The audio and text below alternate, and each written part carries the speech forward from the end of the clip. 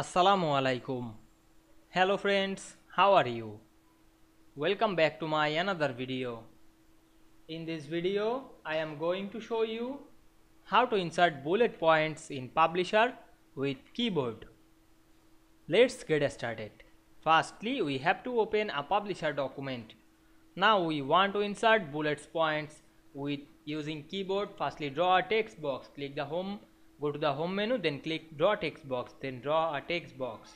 Then press alt on our keyboard and then press H. Then press B U. You can see we open the bulleted list option. Now we want to choose any bullets list using the up arrow or downs or left or right. Then choose any bullet list then press enter on our keyboard now we can see we insert bullet points using our keyboard very easily. You can write anything on our keyboard. Then press enter to continue this bullet list.